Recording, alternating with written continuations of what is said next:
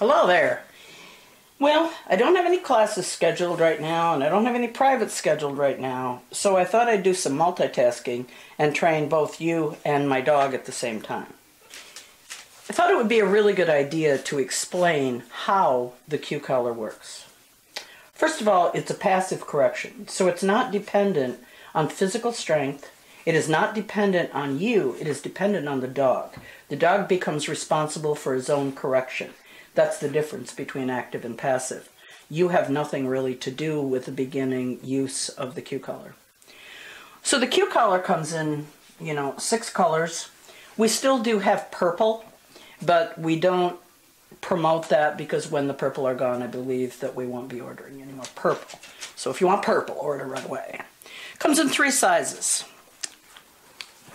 The large, the medium, and the small.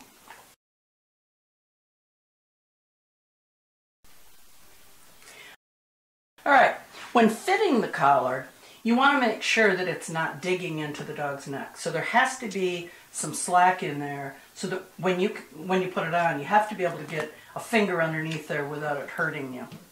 Now, you won't have to have the collar probably quite as tight as you would for a dog that slides out of his collar, like those dogs with pencil heads.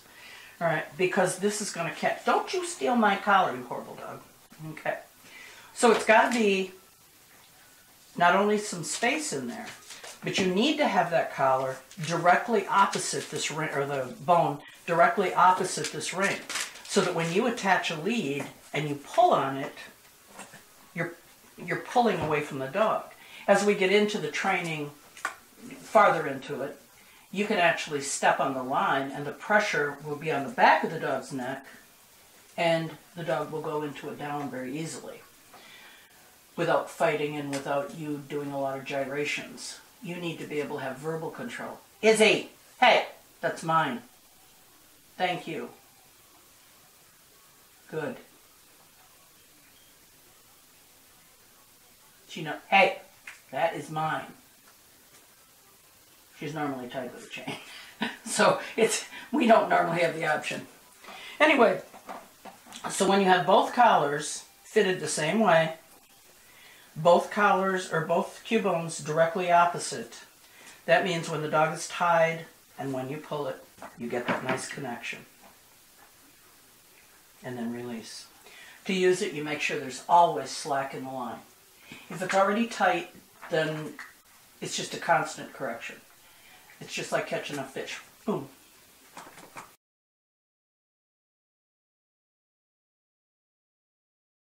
Now, the large and the medium, the posts on them are a little bit longer.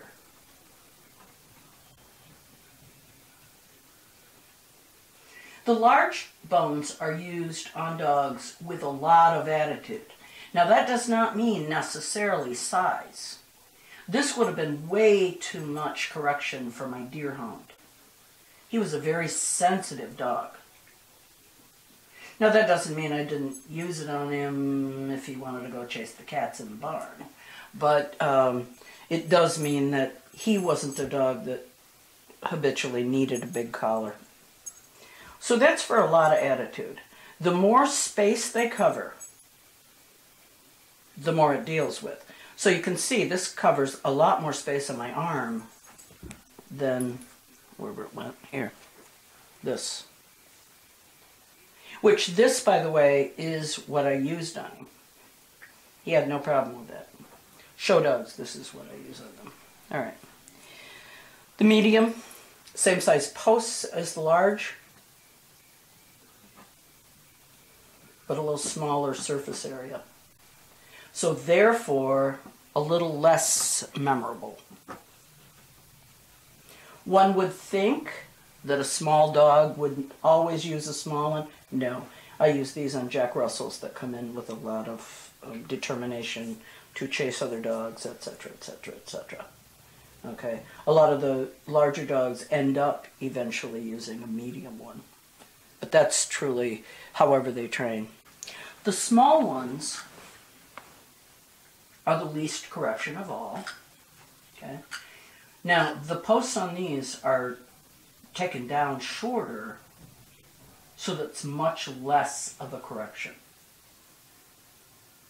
This is appropriate for puppies. This is appropriate for very soft dogs. That's done when I do the assessment of the dog. That's when I make that decision. So when you're doing an assessment, it's how much effort it takes to get that dog to change.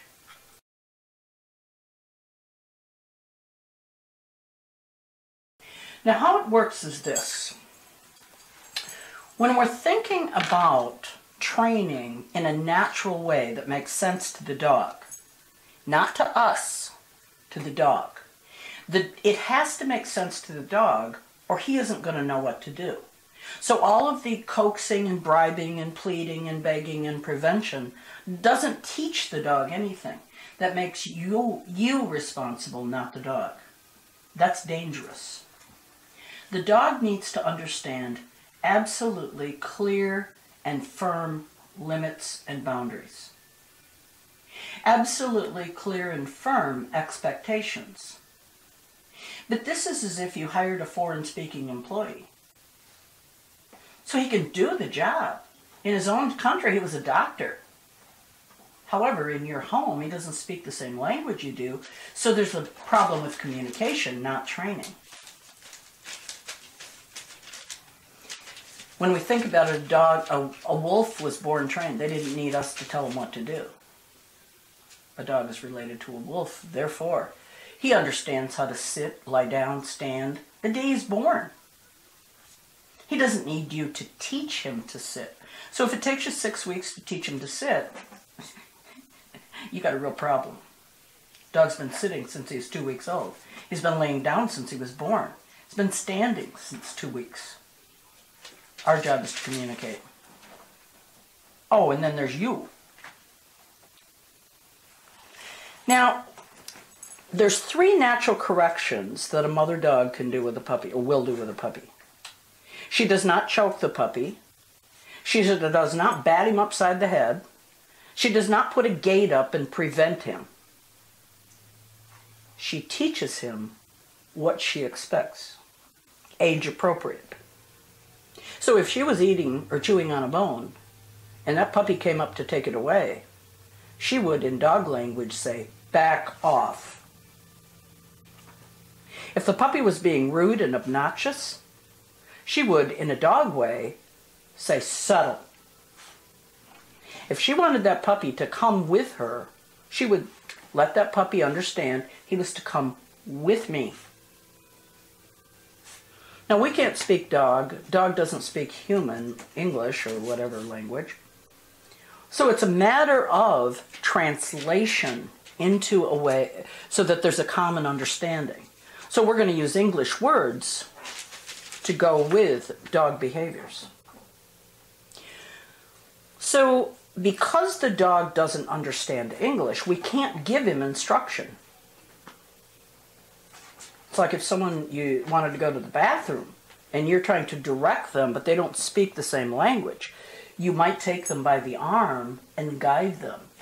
Well, that's exactly what it takes. Not just correct them for peeing on the floor, which they've done every day of their life until they came into your home. Now you're mad at them for doing the, doing something they've done their whole life. How does the dog understand that? They don't. Then they begin to fear you.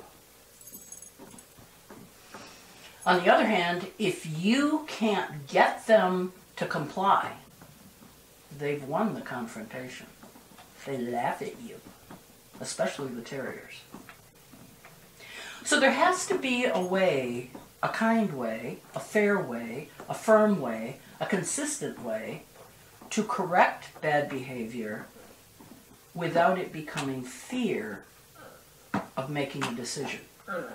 Yeah, yeah, yeah, you awful little dog. All right. So there's three natural corrections a mother dog would do. A growl. Now, when we do it, the growl is both the command and the praise. Easy. Good easy.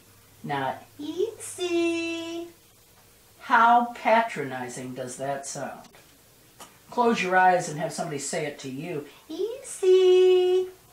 That dog will just laugh at you. You aren't any kind of a leader if you talk to your employees that way. Easy. Good easy. Yeah, yeah, you awful dog. The next way is a nip. A nip is one Q collar on the dog and you're holding it. Now, in a passive training style, you tie the dog. So the dog corrects himself. So if in fact this is the dog, all right, woof, woof, woof. I'm not coordinated. I'll do it this hand. okay, now I can bark. All right. So, woof, woof, woof. All right, so if I pull, it's like stepping on a stone in your shoe. Keep pulling. It doesn't get any softer. The dog will back off from it. Back away from pressure. So by just simply tying the dog, the dog learns that he can avoid the correction totally just by listening to your voice. So if the dog starts to chase people, easy. Oh, maybe I will. If he starts to go after the vacuum cleaner, easy. He backs off the pressure. Pretty soon he's laying there watching the vacuum go by instead of chasing it. Company coming in. When children were little, you put them in a swing. They watched people come in and out. Somehow it makes sense to turn a puppy loose and let him chase everybody that comes through the door. Uh, no. We put children in a swing or a playpen because we wanted them to make good decisions, not have to have us chase after them. So one collar allows you a nip. For major crimes, a nip is like one of those $5 speeding tickets. Until you got one of them $500 babies, you really don't know what a speeding ticket is. Where'd it go? Here we go. That's when we put two collars on the dog.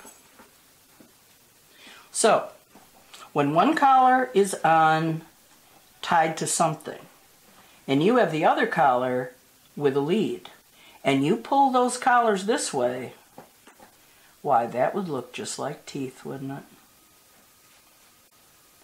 Now, many people look at this and say, oh, that's a pinch collar. No, it's not.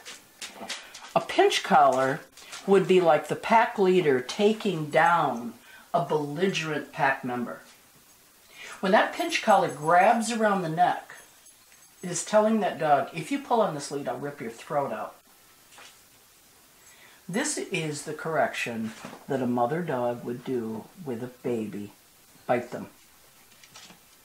Not a threat. You little thief.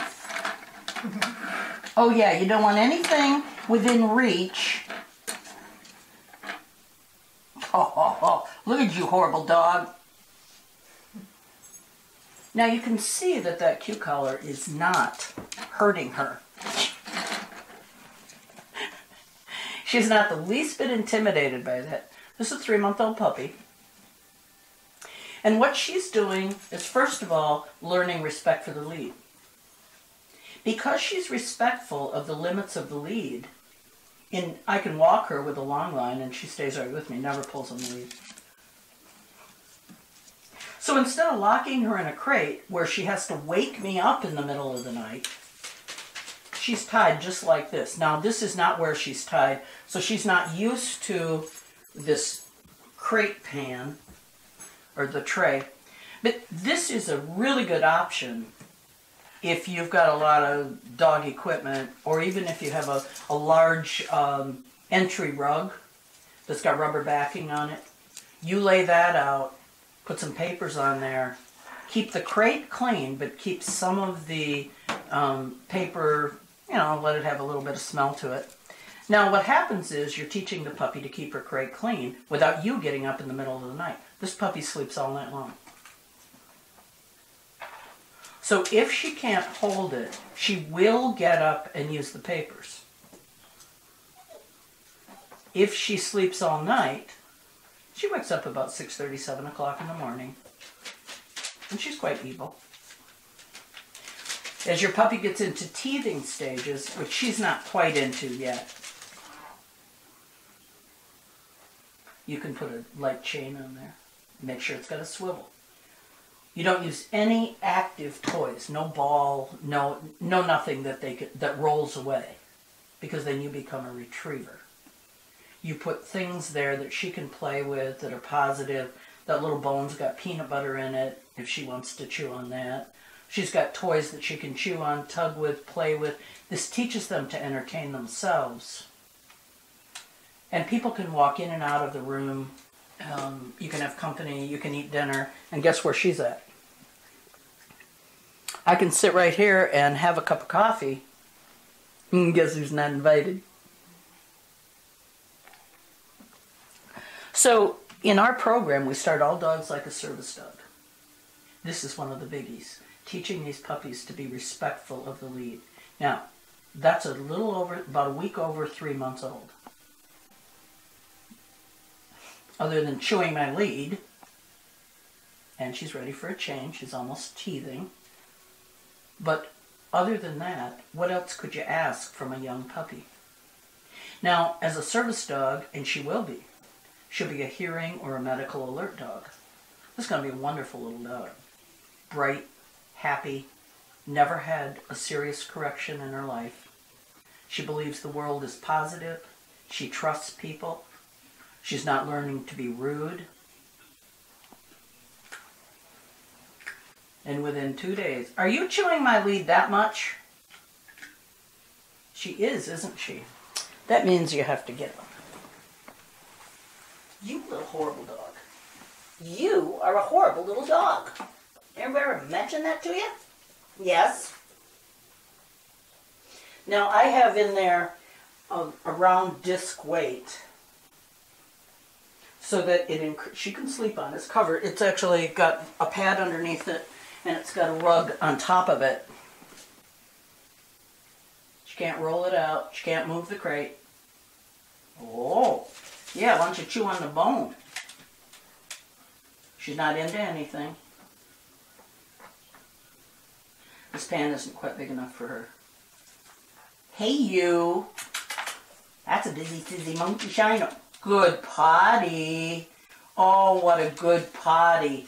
Your main goal is they keep the crate clean. Good potty, Sizzy. That's what monkey shinos do. Here. I know, you're very cute. Now she's got two collars on. She's never been, we've not used two collars yet. She's a little young.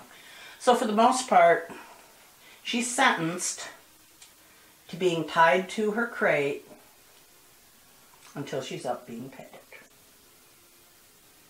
She does get to go outside when it's time, but this puppy's never been played with roughly or handled improperly in any way. Nobody teases her, nobody does anything. The world goes on around her, she watches and learns.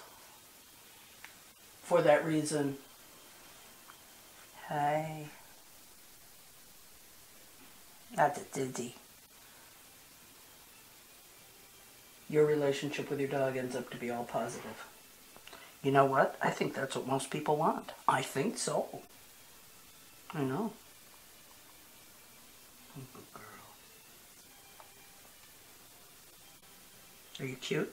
Yeah. And by the way, this is half Lakeland.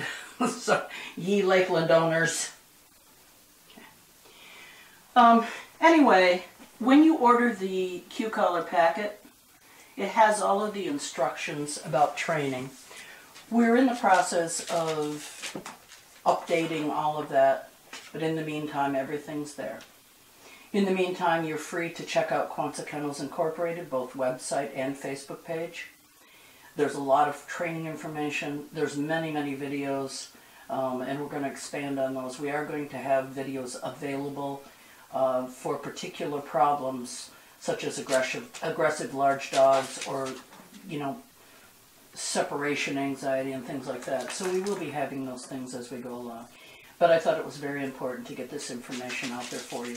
Um, I hope it's helpful. If you have any questions, just write to me. Thanks a lot.